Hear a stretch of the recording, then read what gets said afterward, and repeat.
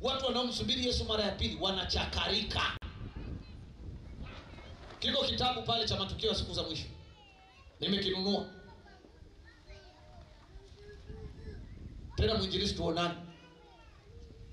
Kile kitabu kinaeleza ya kwamba Yesu atakapokuja atawakuta wengine wakiwa wanapanda shambani. Wengine wanavuna. Wengine wanasindika mazao wako mashineni. Wengine watakuwa wakiwa kwenye miamala ya fedha. Yesu anakuja tarumbeta inalia tunarudi nyumbani. Kwa kumsubiri yesu mara ya pili sio kukaa kivivu sio kukaa kwa kubweteka kumsubiri yesu mara ya pili kuna maana ya kufanya kazi kwa bidii. Ina maana kufanya kazi mara mbili zaidi. Shetani anajua ana wakati mchache tu. Lakini wakristo wanaojua unabii wanasinzia.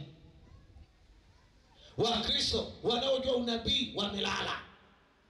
Wakristo wanaojua unabii wao tu wamekaa na kubweteka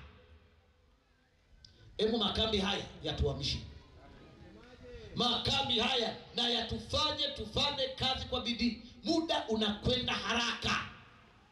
Kama ni uinjilisti tufanye kwa haraka tena kwa bidii. Kama ni uwekezaji tufanye haraka tena kwa bidii